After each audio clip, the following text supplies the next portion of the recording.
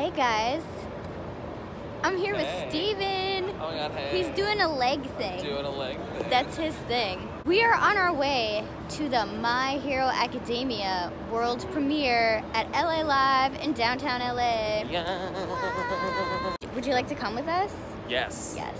Or don't. Like whatever. Or don't. You can just click off right now. Yeah. But if you want to come with us, Yes. stay tuned. We're here. We're in the movie theater, y'all. y'all. I'm not even from the South. Doesn't she look Corgina? Eh?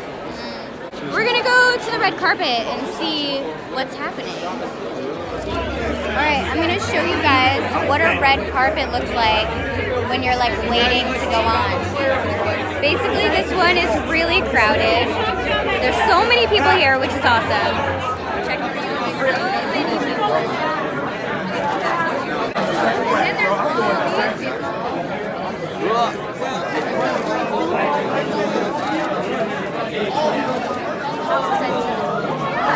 haven't figured it out. okay, good. The carpet was crazy. I've never been to a premiere like that. Can you see this cattail right now? Look at this. Cat butt. Um, I've never been to a premiere that was that crowded and crazy, so it's it was really cool to see um, how many people are interested in My Hero Academia. Um, you know, outside of like the normal voice actors who I always see at premieres. So, one of the things that everybody kept asking me last night was if I had a quirk, what would it be? And a quirk is a superpower for those of you who have not watched My Hero yet. So I gave two answers. My first one was I would want to be invisible.